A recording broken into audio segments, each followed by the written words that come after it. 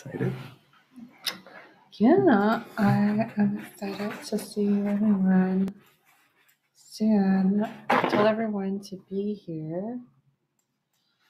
250, which means that Three. may not happen. Um, yeah. So this event is also going to be recorded as well. So other people have showed up that are not not the participants.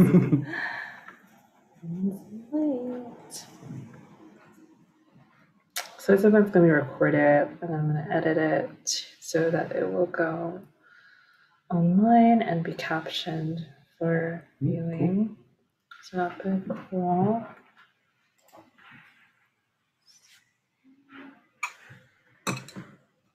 Hi. Hi, Jen. Can you hear me? Oh, you're muted. Hear you. Hi. Oh, Hi, how are you? you got the canister one. I'm trying to get the new one in case the old one runs out because we used a lot of it yesterday. I am way too scared to use the gas canister ones. Um, Really? yeah, I don't know why. It freaks me out because I'm like, what if it explodes? Not that it's gonna- Well, I don't really know what I'm doing. so I can understand. Okay, there we go. Hi, Michelle.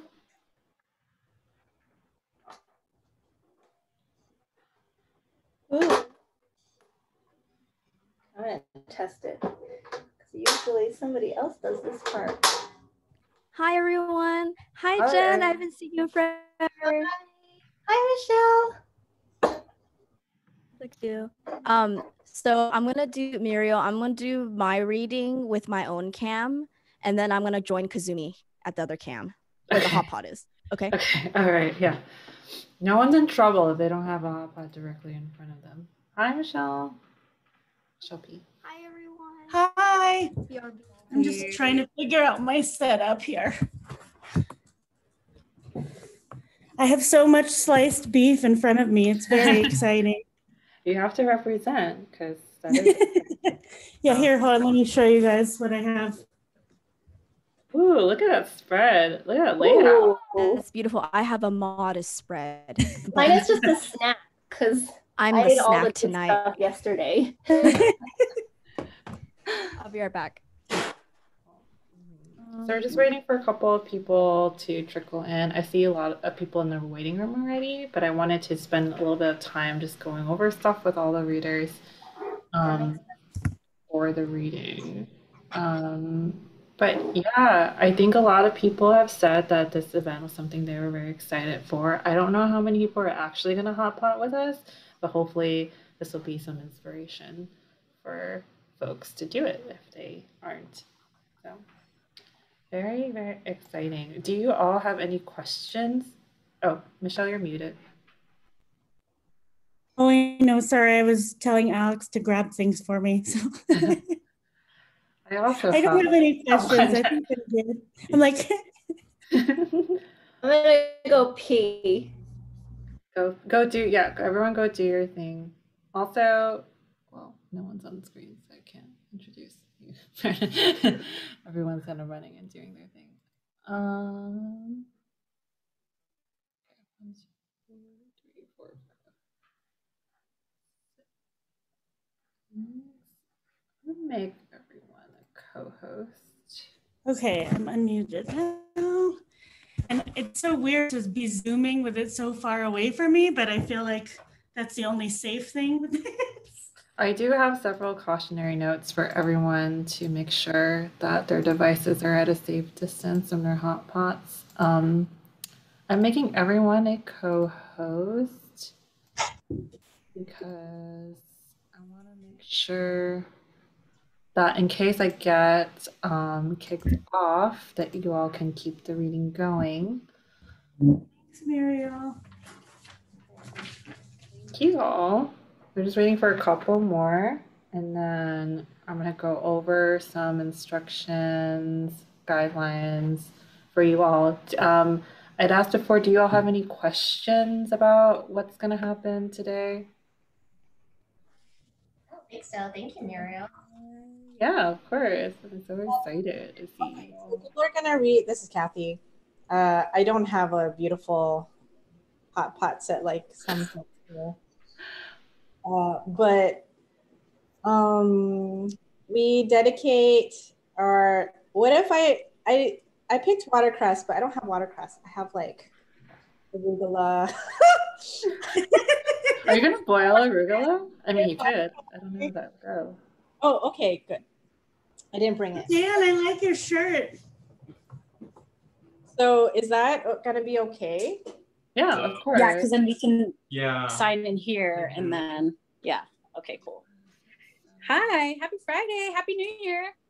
Happy New Year. Like, who is this voice? You know, just just Dan's assistant today. Hi, friends. Hi. Um, Muriel, can I check audio? Can you hear me when I put the mic over here, or do I have to Just talk need to double check that. If you put it closer, it's better. If it's Okay. a little farther far away, it's a little. We're gonna have to do Okay. this. Um, so Sally's gonna be running a little late, so um, I'll just go over things about her. First of all, hi, hello everyone. It's so good to see you. all. Um, my partner Brandon is off screen. He will be um my sous chef for the evening, as in like you'll see a phantom hand send across the screen every now and then um to facilitate the hot process, hot pot process for me. Um, a couple of things before we start. Um, a safety note: please make sure that your hot pot is within a safe distance away from your computer or video conferencing device. Um, I have to do this too, but if you could just put your pronouns in your um, video too, like God, you're so so. Um, that would be great. Dan is if What? could put someone nothing. I was just saying, no, renaming your your video. If someone can do it for you, who's handling your who's who's handling your camera work right now? I got you. um, Tom Sedeco.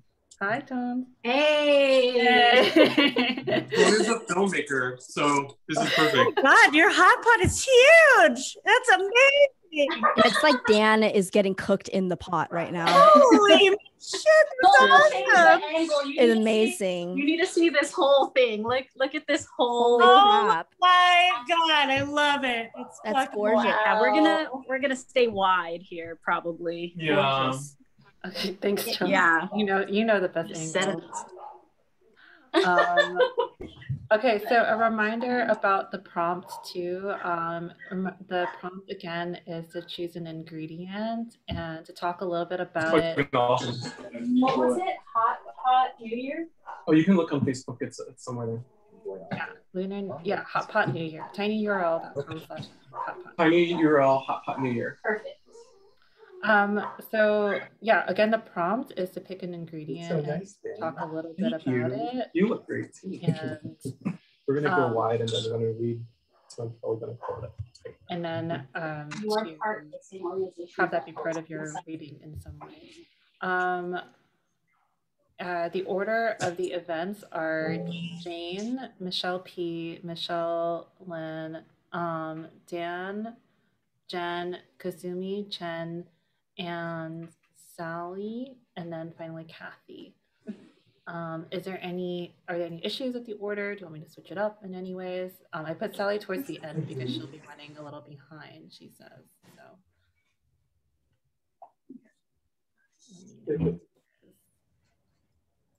No? Cool. Um, so one one last thing is that I will be making, you know, in my introductions, make a little note about just everything that's been happening right now with um, the anti-Asian attacks in our communities, and to talk a little bit about um, how we should do that work in supporting um, our communities without reinforcing anti-Black sentiments um, and actions. So I'm sure everyone here is already on board with that, but just um, just to say that, and if there's some way in which you, I anticipate, might want to talk about it in your readings, um, feel free to echo that message. But I'm going to encourage people to share resources, um, links in the chat um, as we go on. So if there's some things you want to share too, um, feel free to do that as well throughout the reading. Uh, anything else before we start? I think we can get started. Muriel, like for doing, I mean, it's like so thoughtful and lovely. Thank you so much. Yeah, I'm so excited. I love just like the visual of all your hot pots, um, like circling around. It looks really beautiful. Um, really cool. I'm glad to see you all too and to have this with you all. Okay, cool. All right, so I'm gonna invite folks in and we can start.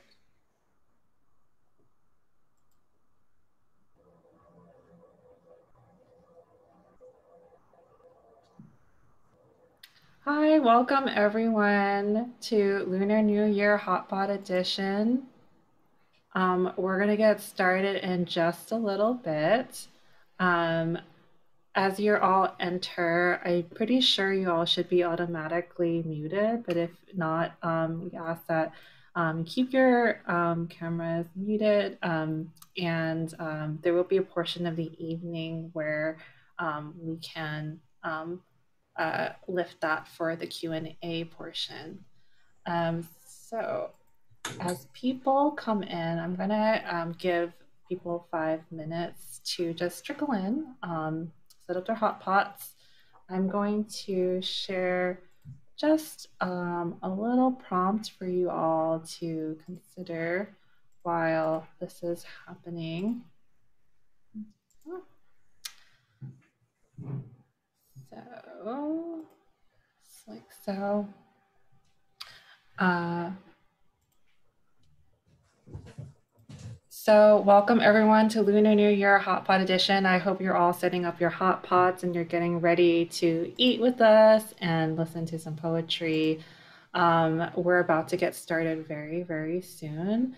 Um, I just want to invite you all in the meantime, while we're waiting for guests to come in, to take part in this writing and eating prompt that I've asked um, some of the, I've asked our readers to partake in for today. Um, so for our readers today, I asked them to choose an ingredient and to think about what it signifies for them um, and to frame it as a type of offering for this new year.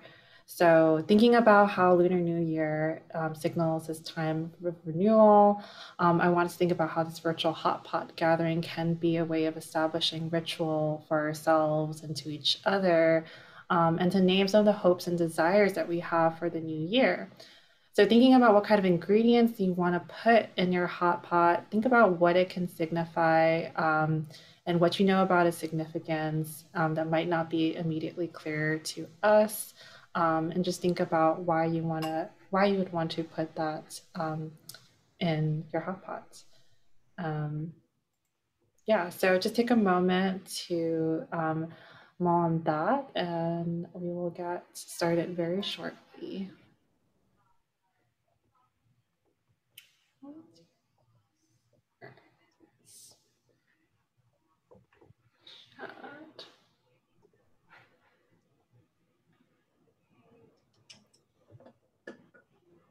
see can actually.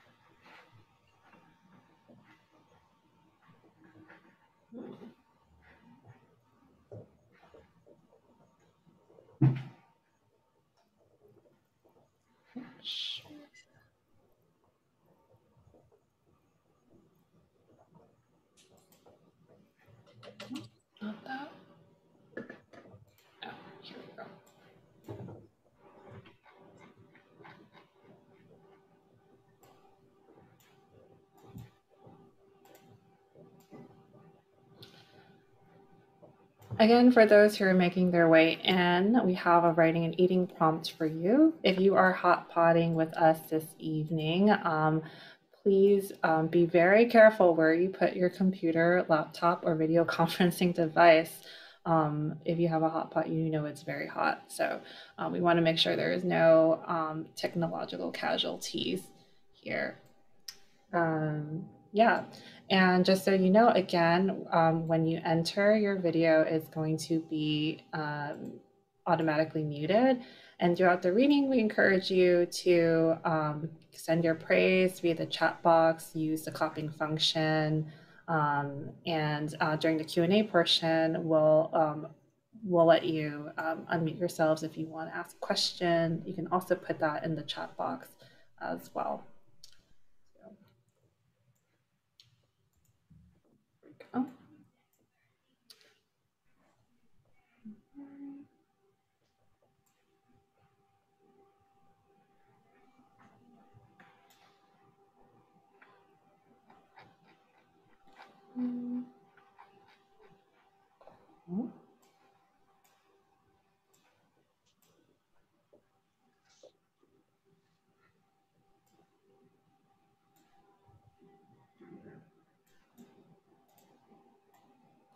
Do any of the readers today want to share a little bit about what is in their hot pot or what they're putting into their hot pot today?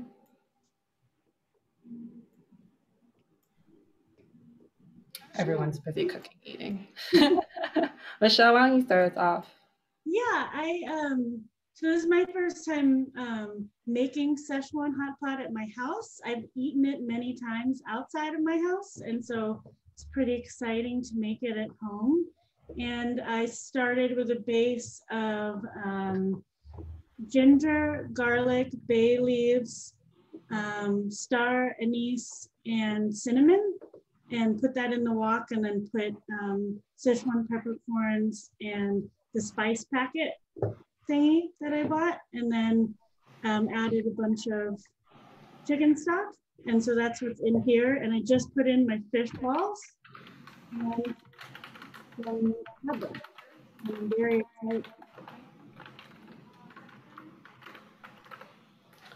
Awesome. Szechuan hot pot. Yeah. Love that. Yeah, what else is everyone eating?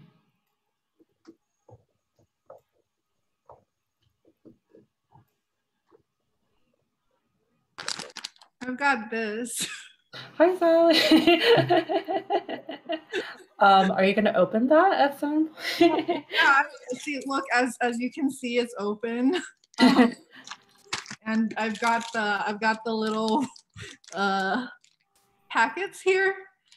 I've got some daikon radish, um, some some bok bok choy, bok choy, and uh, I think I'm mushrooms on on. Yeah, I think I'm mushrooms. So I I got a bunch of mushrooms. That's great. Um, so Sally will be prepping her ingredients throughout this reading for all of you all. That's great. So I do have a hot pot. It's just not in my view. This is Daniel Lee, Asian American icon, by the way. he doesn't like he he doesn't like cameras. But my hot pot is where Kazumi's Kazumi Chin is. Um, but I'm be, gonna be separate for the beginning and then I'll go join them. where Kazumi is quietly eating right now. That's also my hot pot hi friends so many friends. Oh, oh the base, yeah the it's like it's a very modest hot pot.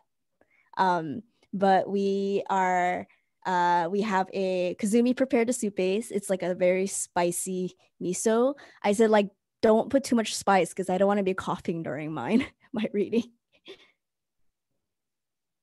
Hot Pot is a collaborative effort, so I'm glad that there's occasion for all of us to have some support doing it. I currently have my partner here who will be whose hand you will see extending every now and then to help stir this hot pot while I am coordinating um, activities for this event. Eight. So I think we have a pretty good um, I think we have a pretty good turnout. So I think um, we're ready to get started. So Again, welcome everyone to um, Lunar New Year Hot Pot Edition. Um, my name is Muriel Leung, and I am going to be hosting the event this evening. Um, I hope that everyone who is able to be in the audience today has their own hot pot Um, again, if you have a hot pot with you and you have your video conferencing device um, in close proximity, just be very careful about where you put it because we don't want any um, any uh, injuries or casualties. Um, just as another note too that uh, for those of you who are coming in just now um, we are going to have your videos um, and audio on mute uh, for the duration of the reading but there's going to be time in the q&a when you can unmute your video um, to share questions or to contribute some of your responses too uh, so in the meantime you can always use the clapping feature or the reaction feature in zoom um, to um, sing your praise, to leave sweet notes for everyone. Um, and folks are um, demonstrating that right now in the chat. That's awesome. Um, and if you do want to ask a question and you feel a little too shy to ask it um, during the Q&A, you can always just put in the chat and I'll read it out loud for everyone. so again, very excited for you all uh, to join us today. Um, so before we begin, I just wanted to uh, share that this uh, event would not be possible without the support of Kundiman and poets and writers who are sponsors for this event. So huge thank you to them for helping to make this event happen.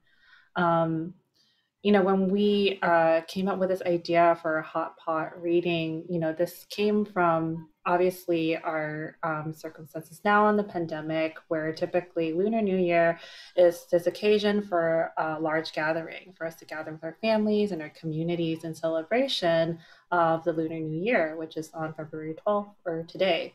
Um, uh, and um, we all know that for January 1st on the Gregorian calendar, um, it's been quite a difficult start to a new year.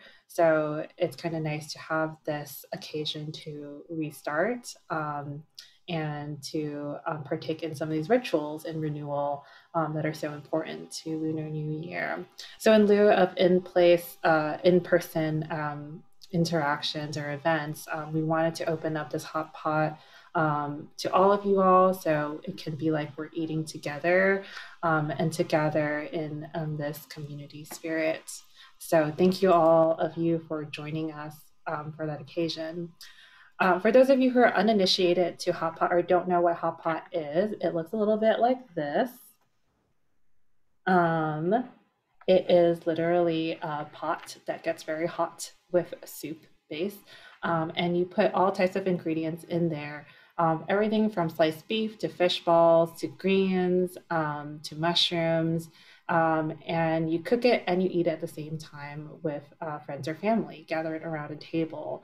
Um, it's really wonderful because um, the prep, cooking, and eating process all happens at the same time with everyone. It's very participatory. Um, and so, in the spirit of that participatory nature of Hot Pot, uh, we invite you all to take part in that. Um, and then thinking about community too, um, I would be remiss or not um, talking about what's happening in um, Asian communities right now, um, where we've seen an uptick of anti-Asian violence um, and especially attacks towards the most vulnerable members of our communities. Um, and that includes Asian elders and Asian women. Um, and it is definitely something that um, we want to be alert to, but we also want to mention too that um, part of this conversation has included, unfortunately, um, a lot of perpetuation of anti-blackness in some of the sentiments in calls for um, increased police presence and surveillance in uh, Asian American communities. And we just want to say that we are um, not for that and that we actually encourage Asian American communities to really challenge anti-Black sentiment in this call for protection of Asian American communities. Um, and realizing that increased policing and surveillance actually works against the racial justice that we seek, um, and that we need to find other community solutions um, where Asian and Black communities can work in solidarity together, as there has been a legacy of us doing that.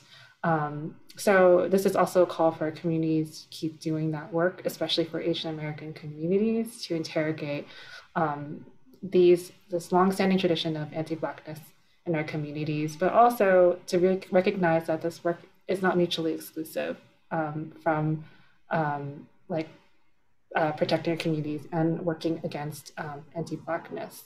So let's just be vigilant of that um, today and carry that spirit um, with us uh, throughout this evening today.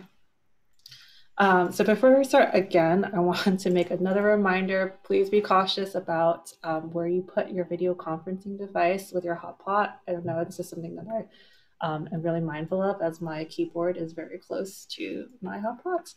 Um, and uh, um, and just to go over the reading order for today, um, we are going to start with a reading and then we're going to have a Q&A portion um, that follows after, which you can all participate in and definitely ask questions. The reading order um, is um, not, uh, well, I will say a little bit about the reading is that one thing I've asked um, all of our readers to do is to choose an ingredient that they want to talk about that traditionally goes in a hot pot. Um, and so um, I will be introducing them as um, them as well as their ingredients. So the order of the of reading today, we will have Jane Wong as fish balls, Michelle Penaloza as sliced beef, Michelle Lin as soup base, Dan Lau as noodles, Jennifer S. Cheng as egg on napa, Kazumi Chin as shrimp, Chen Chen as tofu, Sally Wen Mao as mushrooms, as can Cathy Linh Che, who um, in lieu of watercress will now have uh, arugula. So um, I'm very excited to introduce you all to everyone this evening. So we're going to get started and we're going to um, start off with uh, Jane Wong, who is our first reader. Born in the sign of the wood rat, Jane Wong is the author of Overpour from Action Books and How to Not Be Afraid of Everything from Alice James, which is forthcoming in October 2021. So please look forward to that. She's a restaurant baby and an associate professor of creative writing at Western Washington University. Please welcome Jane. Thank you, Muriel. Um, can you all hear me? I'm kind of far from my computer because I was afraid of the the like disaster of like it falling into the hot pot. So um, thank you all so much for being here. I happy new year. Um, for those of you who uh, or Toisanese, I'll just say in, in my terrible Toisanese, Dan, you can laugh at me however much you want. Um, but Sunlin Phi look. um, and it's again nice to see all your faces and be here in community. And uh, yeah, I, I will say that my hot pot is like like boiling right now, and I cannot wait to kind of dive into it. Um, mine is uh, I'm Jane Wong Fishballs, which please call me that from now on. um, I refuse to be called anything else. Um, so my ingredient fish balls. Uh, so here are my fish balls. They're they're going in like I, will just toss them all in now. But um, my little kind of writing prompt uh, about fish balls I offer you fish balls, little globes of crepuscular roe joy, rolling around in broth how a dung beetle rolls in its beloved jewel. I offer you what defrosts first, diving into our collective ginger dream. And yeah, I think I'll just read two poems. Um, thank you all for being here. It's so good to see so many great friends um, and also new friends, I hope, um, on the, the Zoom land. Um, so uh, this is a new poem. Um, I think the only person who has probably seen it is Michelle Peñaloza.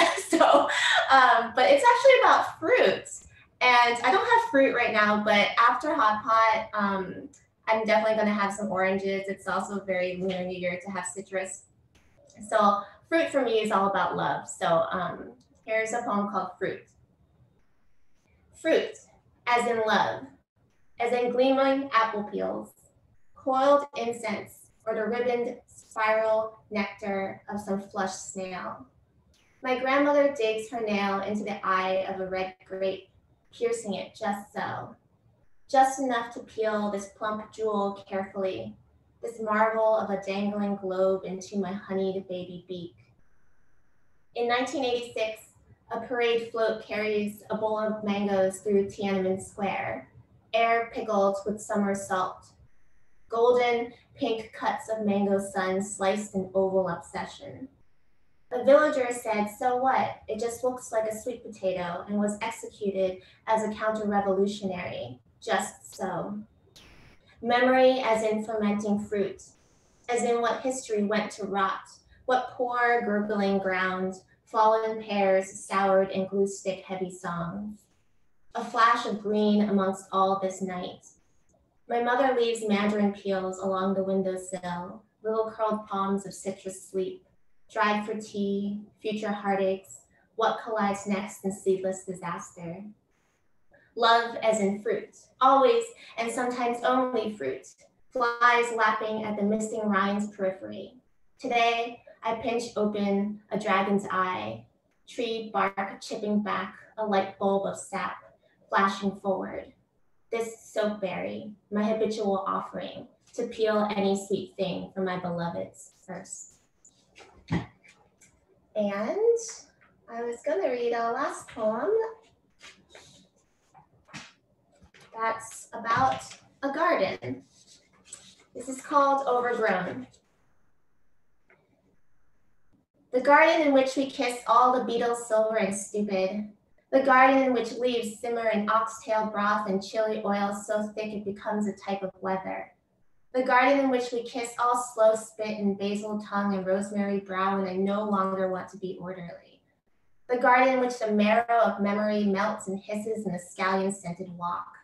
The garden which never left, were never leaving, in which an imprint in fog was not as shadow shouldered in mid rib ache.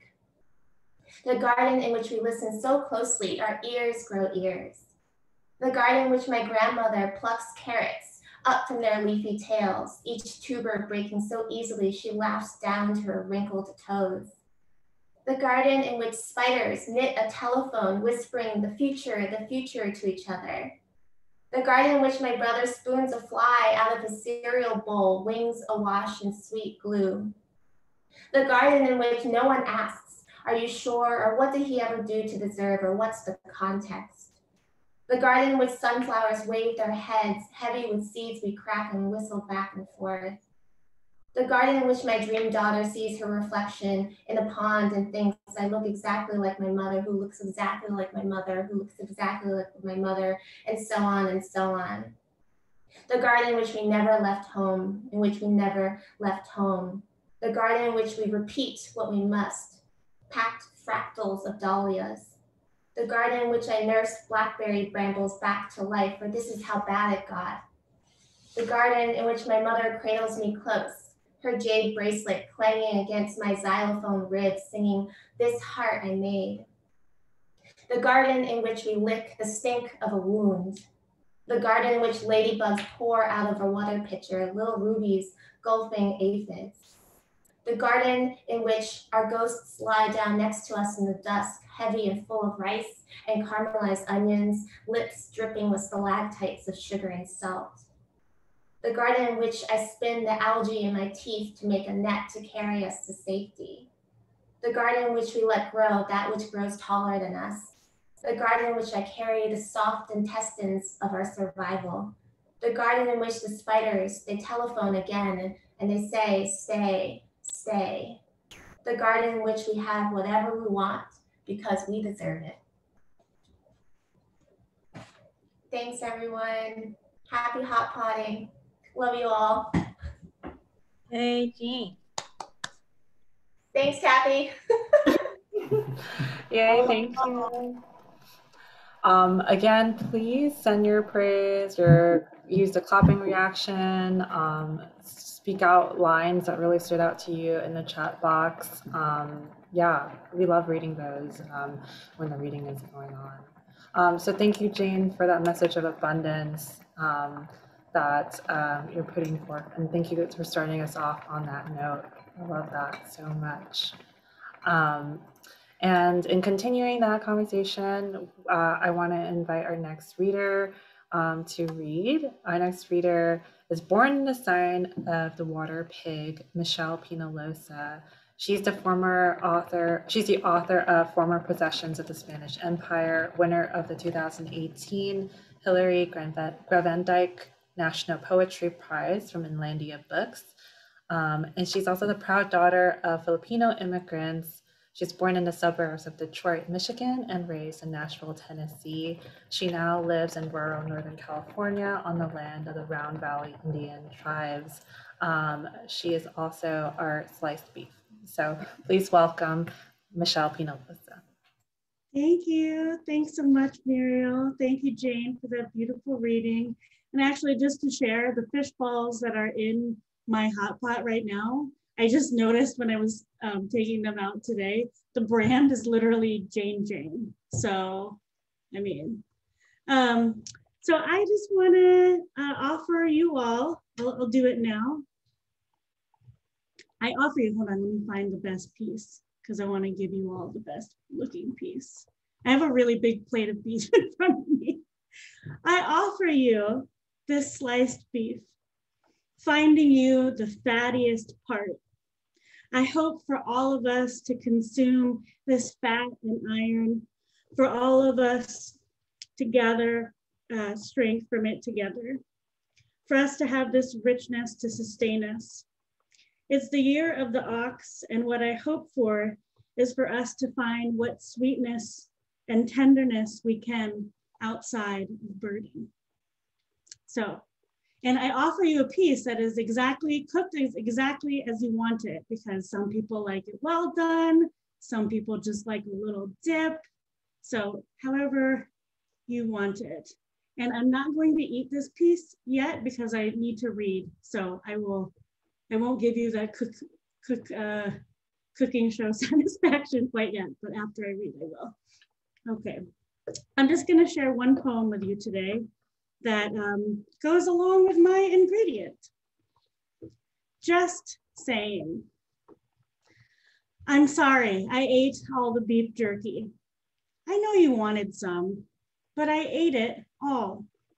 It was salty and chewy and delicious. You make fun of me for turning everything into a poem.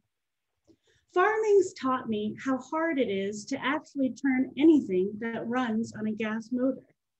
The ditch witch and the rototiller pull you forward and in only one direction, in, in only the direction you choose to go first. A pull in only one direction is what I feel most these days. Why I stuff my face with beef jerky. We've sunk our money into the ground, hoping what grows will turn into money and that money will turn into the life we're trying to grow. Calm down. I'm not talking kids, but I am trying to talk about something. Something like abundance, which comes from Latin abundantia, meaning overflowing, like the way you fill our cups with water each night and place them on our nightstands, because we need to stay hydrated. I'm always wanting and needing so much. Can need be overflowing? Can need brim over? I'm sure there's something here I could relate to farming, how it's not about transformation so much as moving mass. Pallets of dirt, buckets of compost tea from one place to another. The wheelbarrow always in use, never resting, full of seabird pellets with so much depending not upon it, but on the strength or weakness of our arms on any given day. These days, I don't write anything down, but I listen. I actually hear the sound wings make when birds fly. What else could be more like a poem? Maybe that face you made when I did not answer when you asked, what happened to all the beef jerky? Thank you all so much. Um, I, I, I see people saying things in the chat, but I can't respond because they're too far away. So I'm going to look in a moment. But anyway, Happy New Year, everybody. Thank you so much, Michelle. Um, in summation, lots of praise um, and lots of um, very hungry people. um, um, who also resonated with um, your your take so much better than William Williams. Um, what a great collage of that text and then revision of that. I'm excited to welcome our next um, our next reader, who one may argue is like the most important part of the hot pot, our soup base, and that is Michelle Lin, who is born in the year of the metal horse. Um, Michelle Lin is a poet, mixed media artist, and author of A House Made of Water from Sibling Rivalry Press, and as a Northern California regional co-chair of Kundiman and co-curator of Kearny Street Workshops literary reading series. She works to build loving, transformative spaces with APA writers and writers of color. She is also co producing KSW's first podcast, which is going to launch this spring. So please welcome Michelle Lin.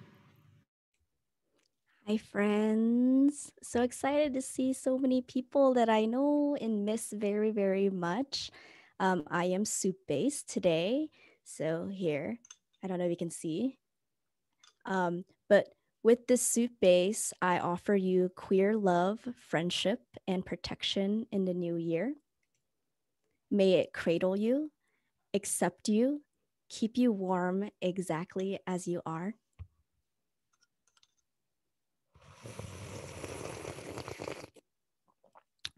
Mmm, spicy.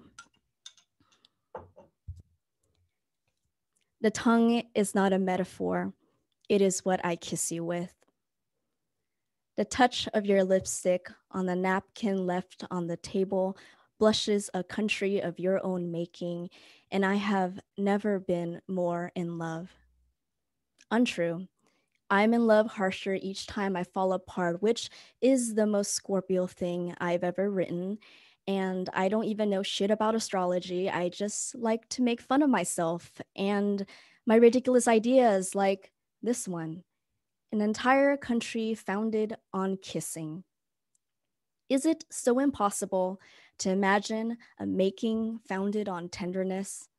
What could a nook like if each time fallout glitter on our love's collar, brilliance a new nation and tongues, so many tongues rested in anthem?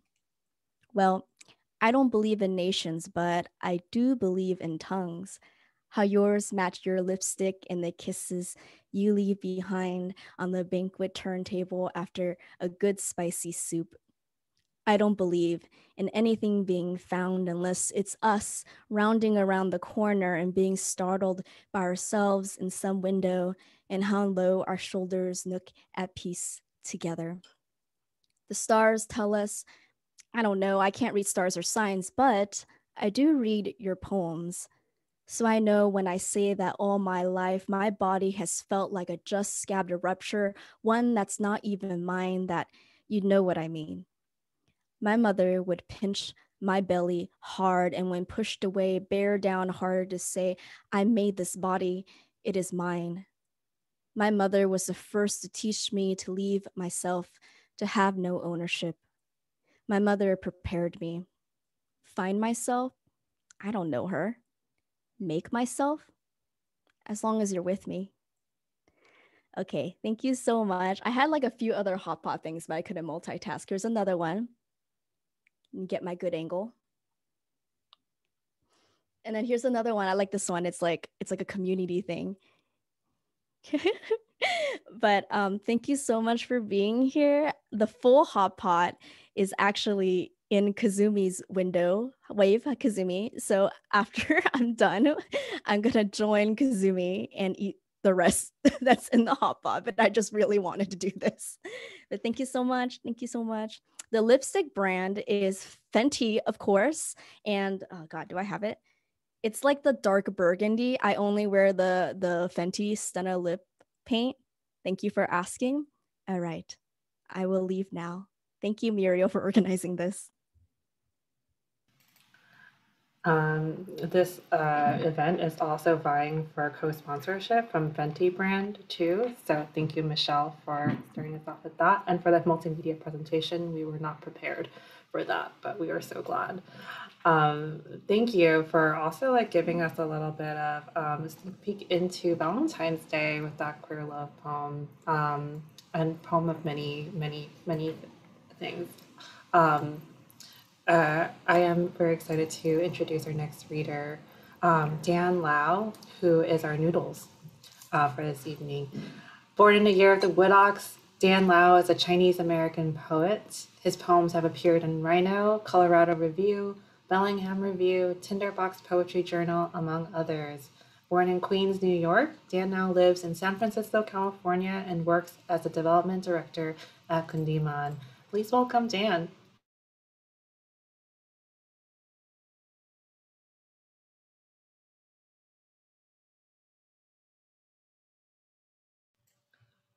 And it's time to There we talk. go.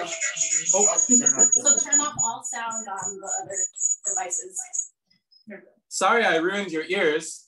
Um, hi guys, I'm really excited. So you, you, if you haven't noticed, I live with people in production, and they're very good at making sure that I look my best. Um, You look great, Dan. Oh, thank you, Town. Um, big thanks to Muriel and everybody who's who's like made this thing happen. And it's just like all of a sudden it materialized, right? And it, now we're just all eating dinner together. Um, so I actually wrote my toast because I tend to get lost in a lot of the um, my my thinking. So I'm just gonna read this. This is my noodle entry. So my toast for this reading is to the noodle. And I'm sure most folks at this reading have associated the ritual of having noodles for a long life. I want to explore the other ways we can interpret the noodle. I feel that the humble noodle, starch, water, salt, and time represent the resourcefulness, integrity, and fortitude of our community. Also, its pliable nature lends to its adaptability, and its stretch under duress uh, represents its resilience. Additionally, noodles have a wisdom built into their composition, knowing when it's best to sever itself and cut its losses under toothy pressure. So it's like, you know, protect yourself, right? Um, alone, one noodle isn't much, but together, pinched by chopstick or swirled with a fork, noodles can stave off hunger and meet everyone's needs. Each noodle, though solely aligned by their gastric destination, has its own journey. Consider the bowl a scatter plot, a three-dimensional plane rife with intersections where noodles meet and part and provide one more strand toward the collective heft of purpose. So I gotta get my, I gotta get these. These are ready. Um, so with, ah, we have noodles here. Pork, pork, noodles. We okay. ate them all. Ah, They're just slippery. slippery. So with these noodles, okay, let's just pretend this food joke is noodles. So with these noodles, I offer you and your loved ones the collective strength you need in the new year to lead a healthy and happy life. Um, and mm. okay, and so um, I wanted to take this moment as a challenge to write an occasional poem. So I wrote this poem this morning. So forgive me if it's stilted and bouncing around. New Year's morning, 2021. This morning, our city speak in steam, and everything and I extend into blossom. Sepals open for a show of white, then pink and red and red and red. And yesterday, I bought some dumplings from a woman who reminded me so much of my grandmother. I emptied my wallet with a smile.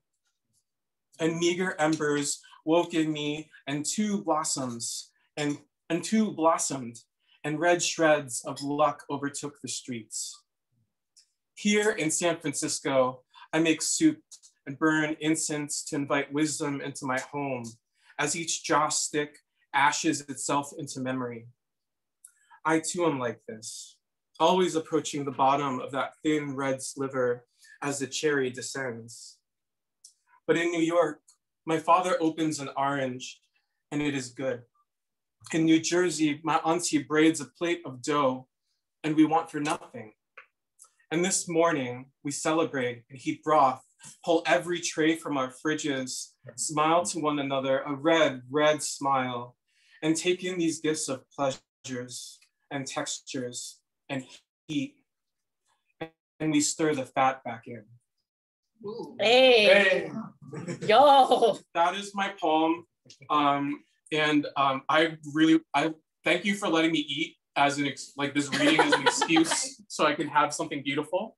Um, and thank you for everybody's warmth and generosity. I can't wait to see you in person one day. Until then, bye. Stir the fat back in. Thank you, Dan and company, for making that whole production. That. Oh my god, Dan had like the, the thing, like it was there, like in your cheek while was playing this.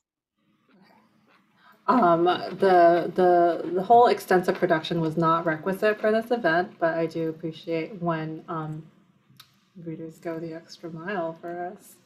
Um, so thank you all for for that. Thank you, Dan, for um, that beautiful interpretation of noodles. Um, uh, yeah, and uh, like um, and symbolizing and and to speak about the symbol of noodle as like a collective um, spirit. So thank you for that. Um, next up, we have Jennifer S. Cheng, who is our egg on Napa today. Uh, born in a year of the water pig, Jennifer S. Cheng's work includes poetry, lyric essay, and image text forms. She's the author of um, she's the author of Moon, Letters, Maps, Poems, selected by Bhanu Kapil for the Tarpaulin Sky Award and named the best book of 2018 by Publishers Weekly, and House A, selected by Claudia Rankine for the Omnidawn Poetry Prize. Please welcome Jen. Hi. Um, thank you, uh, Muriel, for organizing this.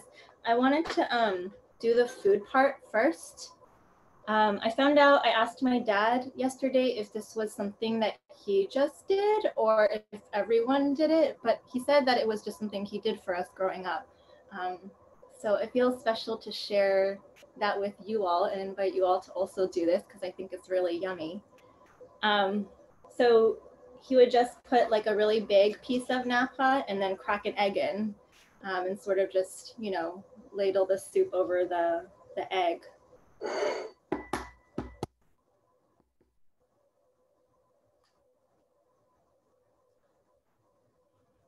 I'm like shaking because I'm afraid of cracking the egg. Okay, there we go.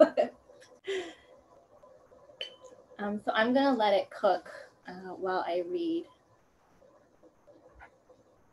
Um, so with this egg on Napa, I offer you all in this new year a beloved childhood memory in my family's own hot pot tradition, encircled in warmth together, held, sheltered, protected, and finally transformed. And I'm going to read some in progress work. I've only recently started to try to um, write again after having a child.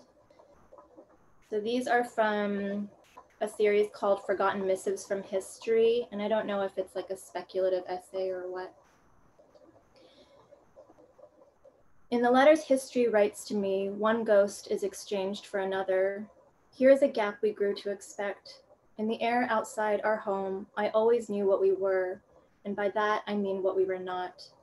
The way we covered ourselves to obscure what was vulnerable, the way we carried our bodies like they were prone to being lost. The things one loses are not always things one can count on the fingers. We are creatures meant to be seen by one another.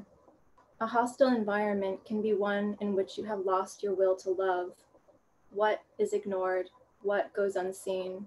Who is looked over and then told no? Does migration mean there is nothing no longer to fear or acceptance of all that is? There is something to fear in these lands, but it is not lost rubber bands or scarce plastic bags. Somewhere in the terrain, we have always known how to love the smallest insects best, how to hold a breathing thing on the verge of losing its most reckless hum. In the letters I receive from history, we are people told who we are and then set aside to decompose. Instead of existing, we waft like paper secrets through an empty house, gnawing on translucent fish bones until they are intimate enough to swallow. Inside the house, the shadows we make are shapes so tender, I fold them under my clothes until I weep from their weight. When someone occasionally knocks on the door and asks a question, does your mother speak English? Where do you come from?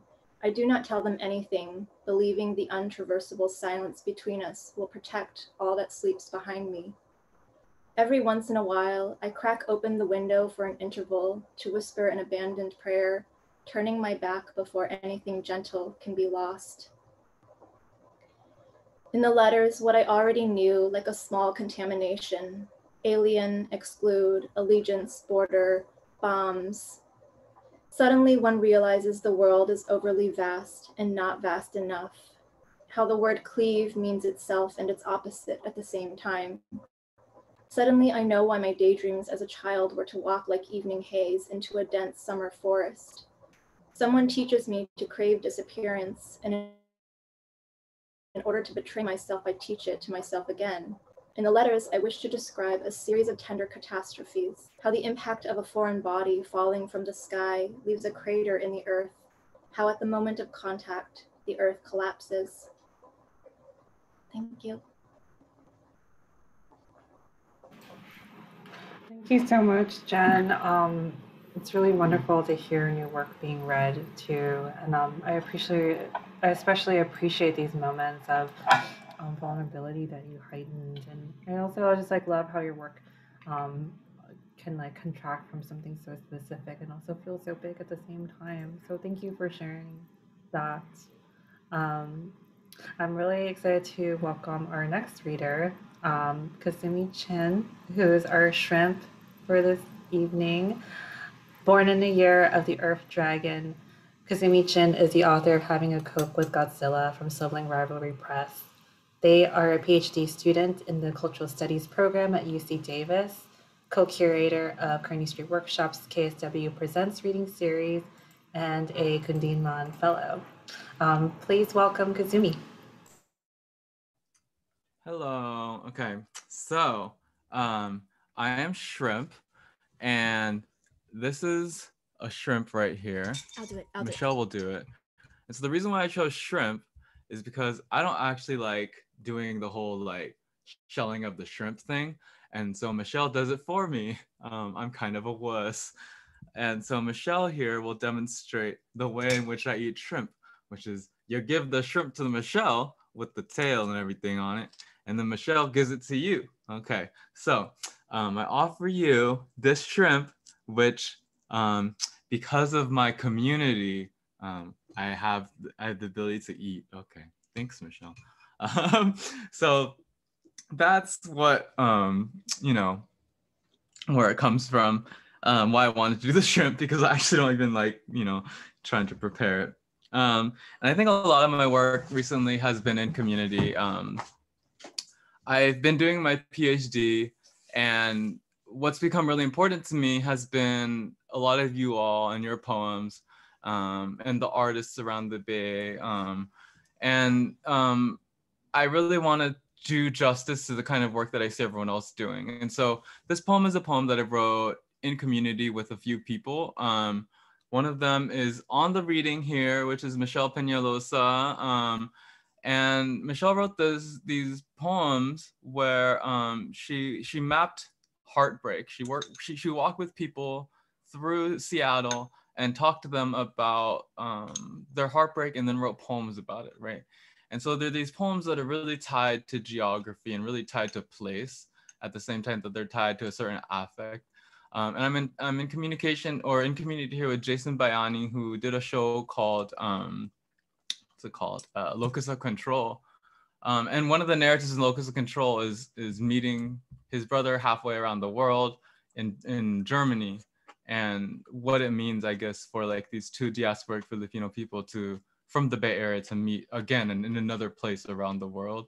Um, and then I'm also in community with my grandfather who grew up in Chinatown and is now passed, and also with um, the artist and photographer Irina Alejo, who I've been working with a lot and talking to a lot about San Francisco and gentrification and stuff. So you'll hear these four names, Michelle, Jason, Irina, and John in the poem, and those are who I'm talking to. And the poem doesn't have a title yet, but it's like about Zoom, and it's also about San Francisco. So um, this is the only place I still love. Even though I haven't crossed that bridge in a long time, even though I haven't seen your streets in over a year. Here is a map of my heartbreak. I write it with my feet. I bury it deep in Ohlone land. I bury it here, knowing what lays buried here, knowing what it means to grieve. I record myself in the act, neurons and electrons and synapses. I remember in molecules, the recording, a map, a map of leavings held in photographs, a map of living, our bodies crossing oceans, a map of you meeting your brother in another country, in a foreign place, some place where it snows, and how the city refused to speak no matter how many questions you asked. I also want the city to love you, but it doesn't, not the way I do. If I could feed you my words, I would. If we could live off vibrations, if the moment we recognized our names, Michelle, Jason, Arena, John, I summon you back. I give you this map, cold only from vibrations, captured and reproduced, coding and decoding.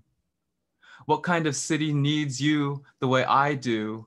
I build a city on top of the city. No, I carry the city on my tongue. And every time I speak, I watch it unfurl.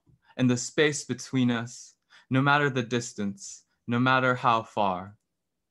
Hmm. Thank you. you I'm gonna gonna eat your shrimp? I'm gonna eat my Okay. shrimp now. I shelled that for you. Michelle shelled it for me. Wait, can you eat it though? I'm gonna eat it. Okay, see? um, citational efforts like apply to not just writing, but also when it comes to um, prepping food and and uh, feeding it to your um, community as well. So, um, thank you for modeling that for us, Kazumi and Michelle, and thank you um, for um, uh, the spirit of love and community that always reverberates through your work, Kazumi. Really appreciate that. Next up, we have uh, Chen Chen, who's our tofu uh, for this evening. Born in the year of the snake, Chen Chen is the author of When I Grow Up, I Want to Be a List of Further Possibilities from Boa Editions. He teaches at Brandeis University as well as the low residency MFA programs at New England College and Stonecoast. Uh, please welcome Chen Chen. Hi, everybody. Thank you all so much for being here. It's so great to see your faces um, and hear these poems, hear these words. Um, I, yeah, it's just such a generous offering. And thank you to Muriel for organizing this. Um, so I wasn't able to get my shit together and set up a hot pot station. I'm very envious um, looking around and seeing all of you with your setups and eating. it's definitely making me hungry. Um, so I'm going to um, start by reading this poem by uh, Jennifer Huang, um, which is called Song of Chou Tofu or Song of Stinky Tofu, uh, which uh, we were able to publish in uh, issue four of Underblong. Very proud of uh, this poem and getting to share it with all of you. Um, so this is a Song of Chou Tofu by Jennifer Huang. And there's an epigraph from Walt Whitman. Um, I celebrate myself and sing myself. A smell before you see and taste, my foul like a hand reaching dimensions beyond human comprehension. I waft a ballad so ancient, so perfect, you'll pray to forget me, exceed me, belittle me. Alas, my stench soaks you, a waterfall of rotting garbage you can't rinse out. I'm a parade of wet socks, cheese, and moldy feet. Relish my complexities. Can you taste what bathed me? Mother Brine flaunted this way of being too much. They say I'm too much. Their protests only making my reek louder, happier, joyful stench. When they discovered me, it was like Newton and gravity. They fell hard and fast. I kill soft, delicious. You could only be so lucky, so lucky to taste this wicked love. Eat me. Oh, eat me and be blessed. And so I want to um, say a few words about my ingredient. Uh, so tofu has been a much maligned ingredient in the US on, and also often mistreated.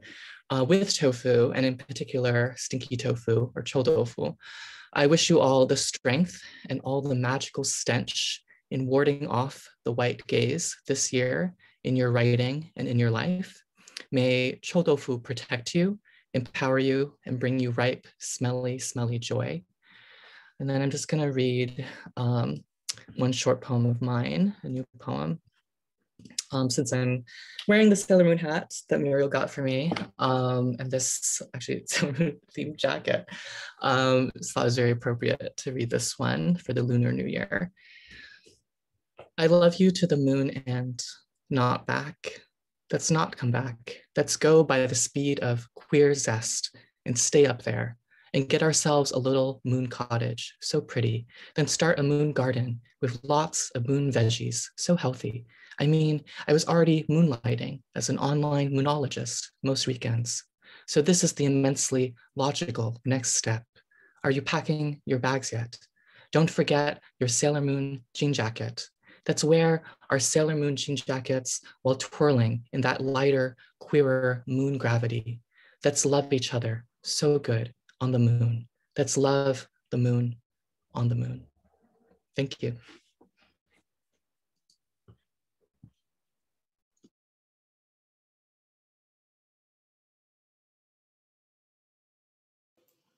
Thank you so much, Chen. Um, and especially for always um, never forgetting to shout out the moon in your work. Um, very important to poets, the moon. Um, and so, um, especially because this is the lunar new year, um, get to very much celebrate that celestial body.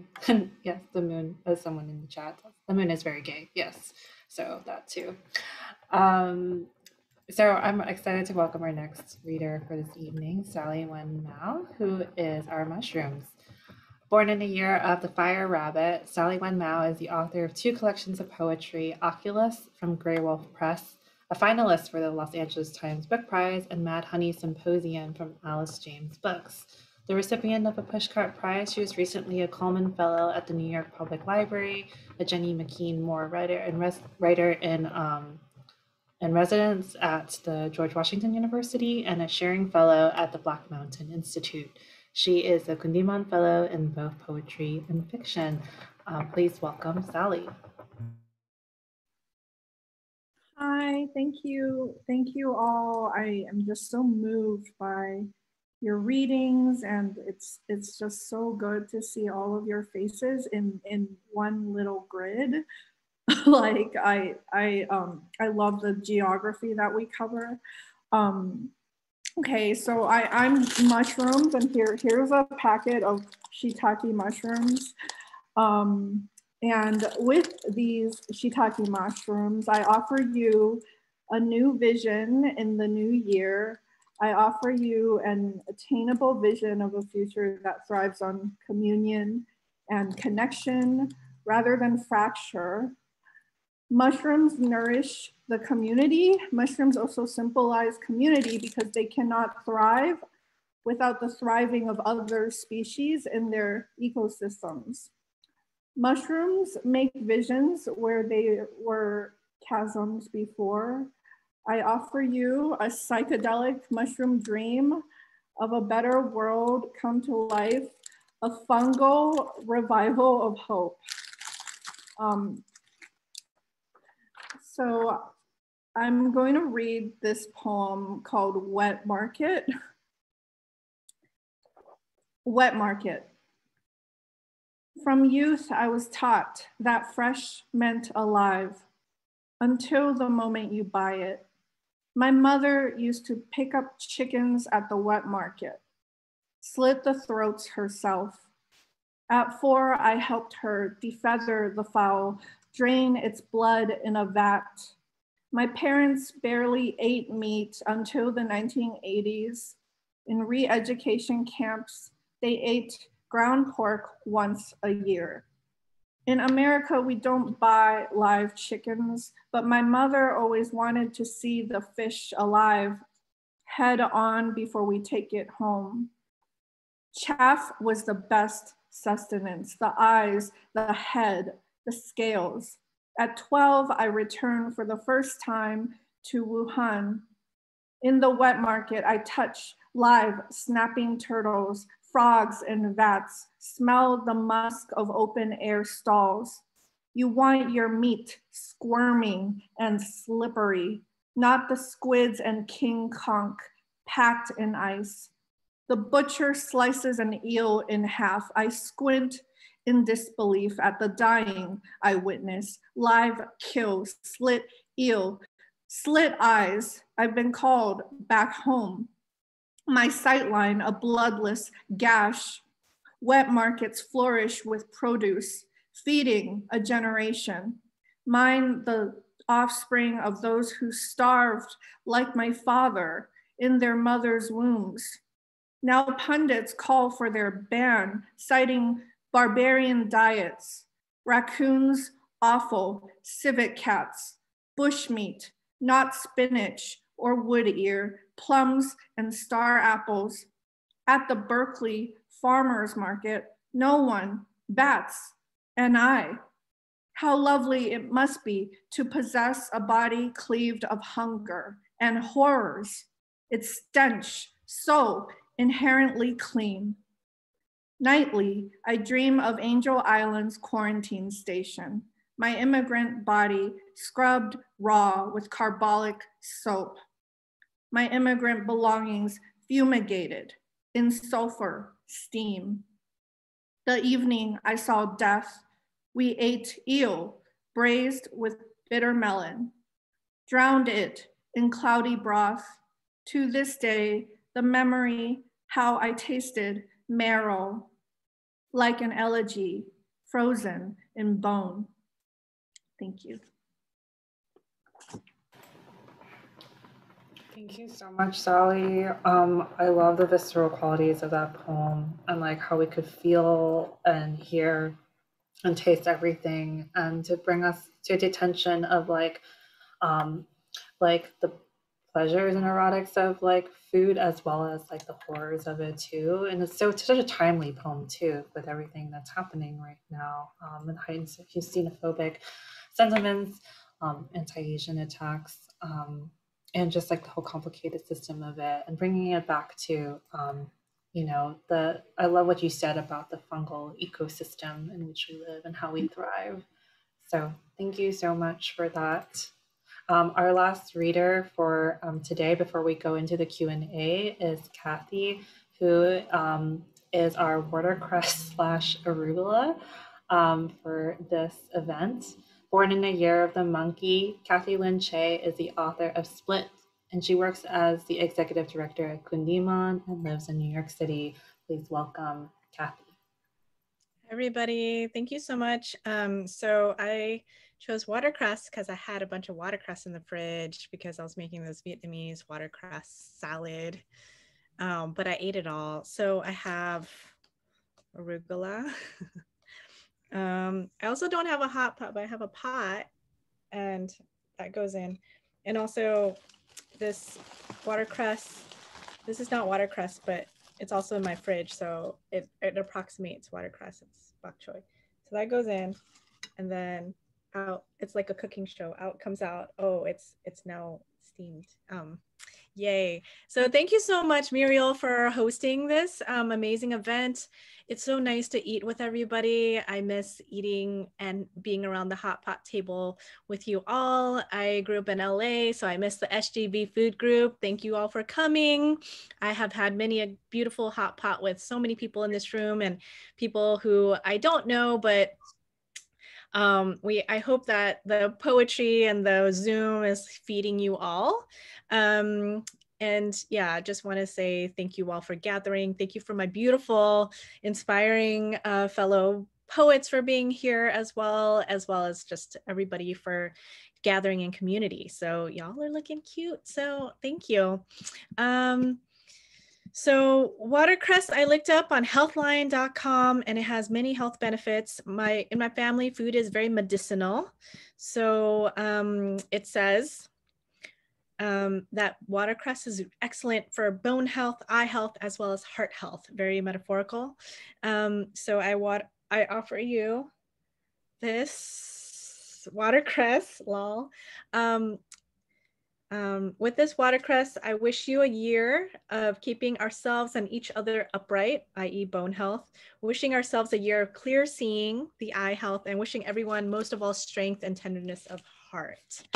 Um, oh, chúc mừng năm mới các em ơi. Um, wishing you all um, a year of um, uh, health and um, income redistribution. So um, hopefully, I hope that um, everybody who is in need gets what they need this year.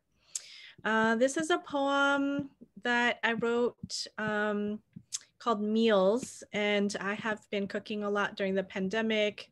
And my mom sent me her cookbook. So it's a meditation on food and family. And yeah, thank you, Chosen Family, for being here. Um, it means a lot to me meals. I hear the wet click of bones unfastening, my mother's hands slick with fat.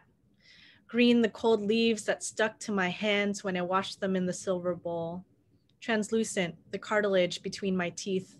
The whole burnt summer, I tasted nopales, I tasted the earth.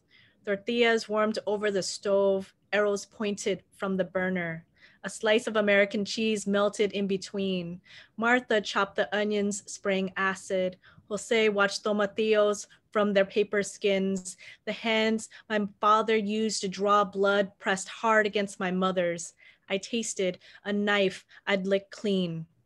Aunt Bay left a plate of fruit bedside. I stained my thumbnail with its sap.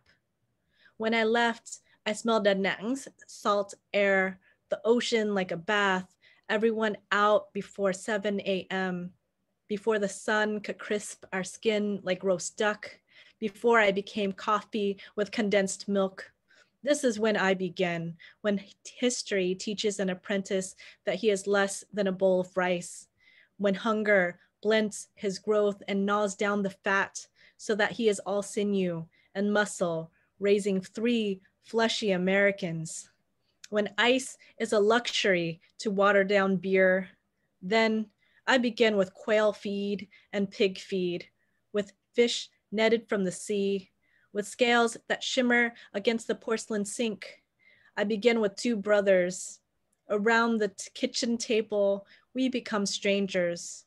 I gnaw on the bones like a good dog. They food network into the bourgeoisie. Once I dreamt I was swallowed by a snake. The snake was an immigrant household.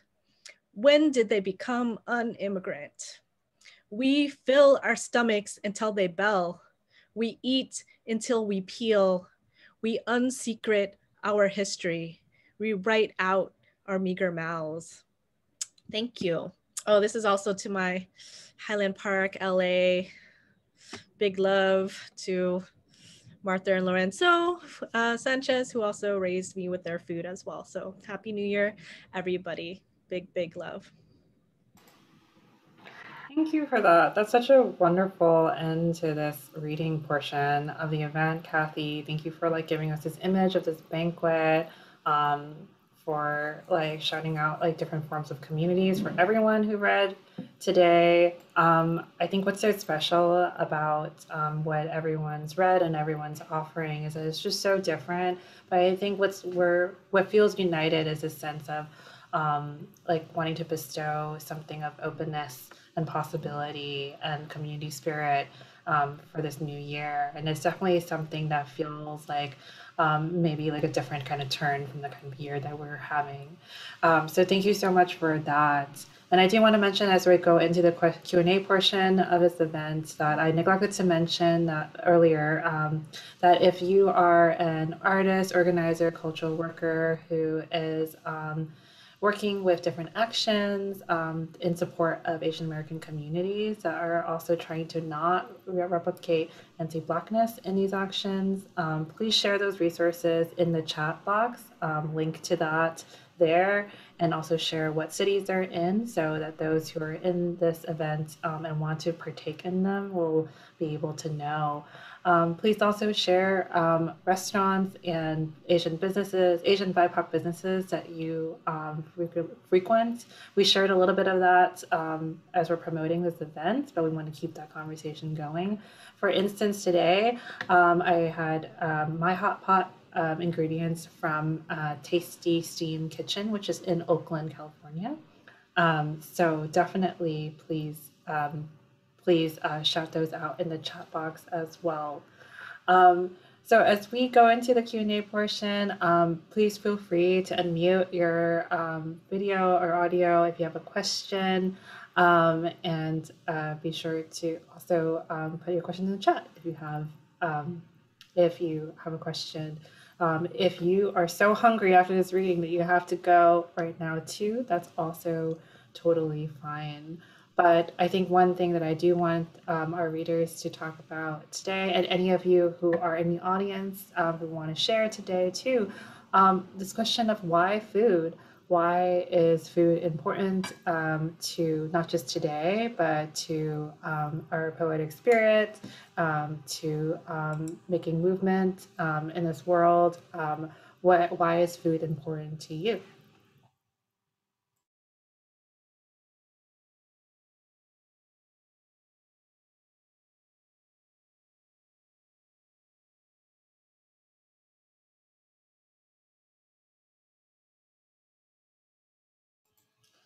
We can also extend this too to um, a lot of you shared some of the ingredients um, for today that are really important to you. So I wonder if anyone also wants to elaborate on their ingredient as well.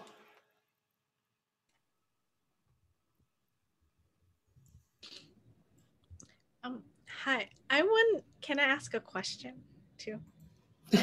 yeah, sure was wondering what people, I don't know if this is a bad topic, but I'm just curious if people feel like, um, you know, when I was young and I was in high school, I didn't, I, I was wary of um, Asian American writing uh, around food because I felt like um, Asian Americans are super defined by, you know, like, for instance, I get a phrase a lot like, oh, you're Vietnamese, I love pho, right? Like, cool. Um, but yeah, if there's ever any sense of you know, so like the poem I wrote is probably one of the only poems I have about food. And I was wondering if people ever feel that that um, anxiety around writing food because of the kind of historical association with like who you are with like the food that your culture, you know, brings. Ooh, Jane, you feel that. Yeah, absolutely. this is so, yeah. Chen, you go first. Oh, I was just gonna say, yeah, I mean, thank you for, for bringing that up, Cathy. Absolutely, I definitely feel that anxiety. Um, and I remember this was like maybe two years ago, and I gave a reading. Um, it's at the University of Illinois, um, and I read this poem called "In the City," which is dedicated to Monica Sok, um, this wonderful, wonderful poet. Um, and in it, I mentioned making dumplings with my mother. Um, and I tried to approach that scene and that subject in the poem in a complicated way. Um, and then afterward, um, at the signing, uh, this uh, white audience guy came up to me and um, like highlighted that poem, which I was like, oh, that's so nice um, but then mentioned uh, how much uh, he loves dumplings. that was like his main comment to me. Uh, and then he's like, I'm gonna go and make dumplings with my Chinese friend now. And I'm like, all of that was very unnecessary for you to tell me in this moment. Um, and so it just like made me realize though that like oh no matter how i try to write this it'll be received anyway in a particular way um, by uh, white readers or listeners um, because that's how they're used to consuming right our work. Um, and so it was actually like even though i was um, disappointed and anxious in that moment, um, upon further reflection, I was like, you know what, this is a subject that I do want to write about. I do want to explore this however I can. Um, I think part of it was also feeling like, oh, I'm not going to do this justice. Um, and so I think it's just taken me more time, but I feel like it's, it's something that I've started to explore a lot more recently. I can see the chat and everyone's like, we all know that guy. I know that guy. I think my my white audience member it was about pig's feet, like pigs like blood blood in a poem of mine. Um, but yeah, thanks for that, Chen. I feel like this the same way. Um, it always feels kind of like scary, and Cathy, you're saying too, to kind of like write about the thing that is so easily like identifiable as you know Asian in like a poem or a short story I'm a restaurant baby. I grew up in food, quite literally. Like I went from the hospital to the restaurant. I don't know how I wasn't covered in oil. you know, um, I used to bathe in a meat bucket, you know, where they used to marinate the meat. I would just, I wouldn't be in the meat, but I would just, you know, like we would reuse it for like, you know, wash it out. And then like I would like sit in there on a hot day um, in the parking lot. But anyway, so I, I thought to myself, like, you know, like, why have I been avoiding writing about being a restaurant baby, growing up around food? Like everything is about food, you know, and there's there's so much joy around food. I will say because, you know, I love Kundiman so utterly much. I didn't really have an Asian American community prior to Kundiman. And I remember when I went to Kundiman for the first time, um, there's a giant feast, you know, it's just like a bunch of takeout, um, delicious takeout. But uh, I think that day there was, there weren't any utensils for some reason. Like there weren't like um, forks, chopsticks, spoons, nothing. There were only like cups. And so silently, everyone just like dug into the noodles with the cups and just like, just like started like throwing back noodles completely silently. Like it wasn't like a funny thing. It wasn't like a, oh, we should do this. It was just like natural. And like I thought to myself, like, okay, yeah, everything's about food. Um, and I love that. And I love Kundiman and I love all of you.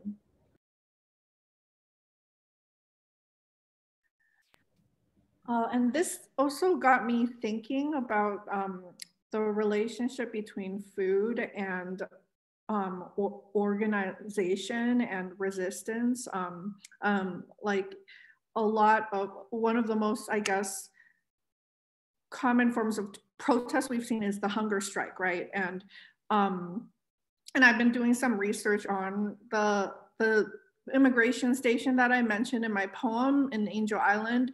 Um, one of the first uh, signs of rebellion uh, in in the uh, in the immigrants who were who were detained there was a was a food riot um, or like a food protest where they like I think a lot of the Chinese immigrants hated the food, and so they they they did they organized a demonstration in the mess hall and um, and I think they they also they also began this hunger strike where they just stopped they just stopped going to the mess hall. And and that and then and then the result of that protest uh, was was that the, the, the menu did change after that. Um, so before all the food all the food was like the the cheapest uh, like worst food that you can imagine. And then and then after they staged the protest the the the menu finally changed. So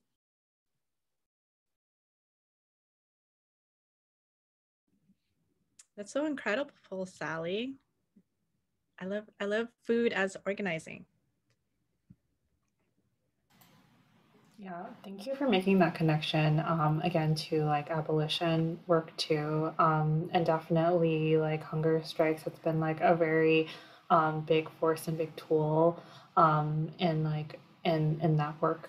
Um, so thank you for highlighting that too. I think that what um, a lot of you have shared is that like when it comes to food and um, Asian American writing, it's always been something that's a little complicated because I think um, it seems like from at least white audiences, the expectation is that food is easy or like Asian food and, and much as like Asian identity is something that's like very easily consumable. But in the experiences that you all shared today, even just now, um, it clearly isn't. And it's um, something that's very complex. Um, and that is something that um, is like not easily digestible. And so um, the challenge now, it seems, is to write about food that resists that like easily consumable um, nature that like white audiences are likely to try to um, approach um, Asian American identity and food. So um, I think that that's like a very important challenge to each of us, um, but also um, events like today hopefully present like a wide array of ways in which we can engage. so yeah. Um, I was thinking a little bit about too about what some of you have shared um, in your offerings today, and I wonder if there's um, any part of your offerings that you wanted to talk more about um, or to elaborate on um, for those in the audience. Um, if there's um, specific wishes that have come up for you just in listening to each other today, as far as your desires for the new year, especially since we're talking about social and political um, aspirations to what do we want to see moving forward that we haven't seen yet in 2021.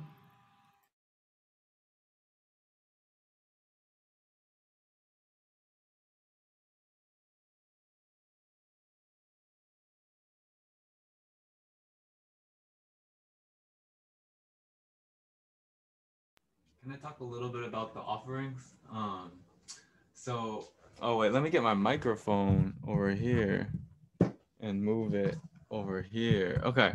So um something about the what did you say? Um I think it's important, right, when we do the work of writing about food to really think about the way that we think about it outside of the easily consumable context, right? And I think just listening to everybody giving their offerings, I think that was a demonstration of how to do that today, right? Like we each had an offering that we did not um, come at it from thinking about how will I be able, like we didn't think about how the white audience would consume it. We were simply offering and thinking about what does this offering mean, right? So for me, it was like, hey, like this is community to me, right? Because, you know, I don't like doing the whole picking apart a carcass before I put it in my mouth thing. So I'm like, I'm gonna let Michelle do that, um, right? But then, so then that meaning then starts to transcend any kind of con- you know consumable um, identitarian thing,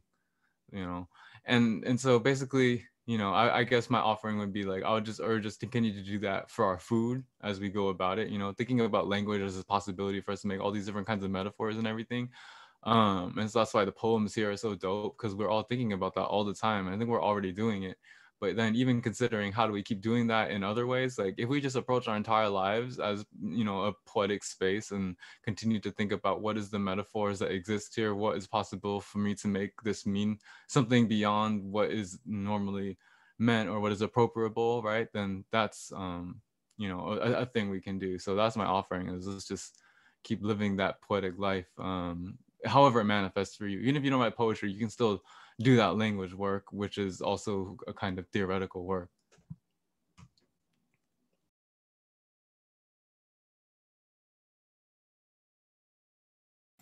Yeah, I love that, Kazumi. Thank you for that. What about other folks?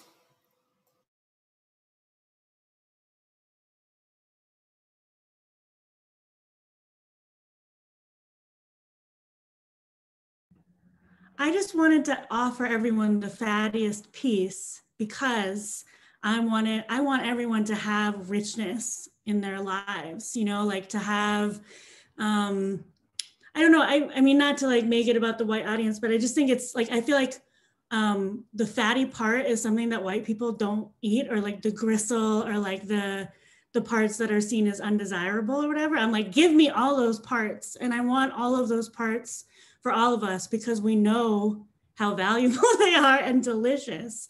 And I guess I just wanted um, to offer more deliciousness and lusciousness because things are hard and where wherever we can find the richness and lusciousness in in our lives and that we can share with each other i think is that that's like sometimes it's all you can do if you can even access that you know and it's like really the whole thing about food for me like you know i think like all asian parents are like this maybe i don't know i feel like there could be a survey taken, but it's like the first question. If it's not about money, it's about have you eaten? and like I just, you know, both things being about your sustenance and your survival. And I want for us to have more than survival. I want us to have thriving lusciousness. So that was what I was thinking about with sliced beef. I can say a few things too. Um, I really love the tagline for this event, Muriel, too, which is "Have you eaten yet?" With which is, it's also just like from the communic. I mean, I worked in communications before. It's just very clever. I love it. But also, but also, it's like, you know, like what I miss most about the poetry events or having art events in person is actually not just the event, but like afterwards we'd go eat together. And we would ask like, "Hey, have you eaten yet?" and then we would either the three options were um, no i haven't. Where are we going? or um, i have but i'll watch you eat or i have but i can eat again. Those are like the three things that always happens and then we would go to some place right um, and that's just what i love so much about like this feeling of this event too and michelle you talking about the fatty beef actually reminded me that for the three years i was living in pittsburgh pennsylvania um, for grad school, there was only one restaurant that I could find that did the fatty pork over rice. It was the one Taiwanese restaurant in the whole city. And I went there all the time. And every time I sat down and, and ordered that, I don't think anyone else ever ordered it. The the person, it was Rose Tea Cafe, because it was driving Rose Tea Cafe in Squirrel Hill in Pittsburgh. Um, they would the wait the wait staff would ask me like, this is there's fat on this like are you sure you want it and this is something they had to learn to tell people because i think there are a lot of um, patrons who weren't aware of that and wouldn't like of course wouldn't like it so i just like that just kind of recalled this memory to me but just thinking i'm just i think i'm like my mind is like everywhere right now but some of the things are coming up in our conversation i'm just thinking about when we write like and because what Kumi's Kazumi's saying about like why these poems are so powerful is that I feel like when I listen to these, we know exactly who we're writing to, and it's to all of us, right? The people we love so dearly, and in which we don't have to explain ourselves. We just kind of know. Like this kind of thing is kind of not identifiable. Like, what the hell is this? But we know what this is. you know? So it's like stuff that we don't have to explain. Um, I also have the last thing I'll say before I like stop talking is um, I have on my phone background, you can't see it, but it's actually a photo of me, Kim, who is who is I believe in should be somewhere in Dan Lau's housemates video. Kim, hi Kim, and Dara and Mihi. And these are photos that we found from KSW's like archives. There's two different photos and it was two different years and we're positioned in the exact same way um, in front of the snack table. It's across two different years. And I made it into a meme. I said, it doesn't really make sense. This is when t- time flies, when friendship fries, and I covered it with French fries. But the point is, there's like there's something I loved so much about seeing this photo of us like through the years, and we're just still around like the snack table. You're like, you know who you are, like at the art events, and you're like, you're just like, where are the snacks? Um. Anyways, I'll stop talking. I just like I love y'all. That's all.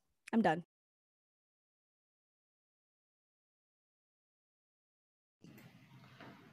Thank you for that. I think um, I just want to echo all these messages about abundance and about um, persisting as we are and all um, our complexity um, and never having to feel like our uh, messages and the way we make meaning in this world has to be obligated to um, any mainstream ideas of identity. um, and that simply being who we are is enough. Um, so thank you for these messages of enough and abundance, and for um, offering each of you the fattiest pieces of what we have um, in this time in which like we are thinking about distribution economic distribution social distribution. Um, may this also carry forth into the way we move through the world and through our art. So thank you to everyone who attended today. Um, i hope if you have not hot potted today that this event inspires you to do that um, some more. Do it with your friends virtually, um, do it with your family um, if you can. And um, it was really great to see and eat with all of you. Thank you so much. This event will be is recorded, and so it will be posted online at a certain point with captions so that you can all view it and share it. Um, so thank you so much, everyone. Have a good rest of your evening, and I hope um, this event has left you full Bye. Is there an after party? We'll go to Asakar. The after party is at our house. Thank you so much, Muriel. Thank you, Muriel. Thank you, Muriel. Thank you. Yes, Bye, everyone. Happy Bye. Per- Petrol perpetually after party. I want boba. I want noodle. Me too. I want, I want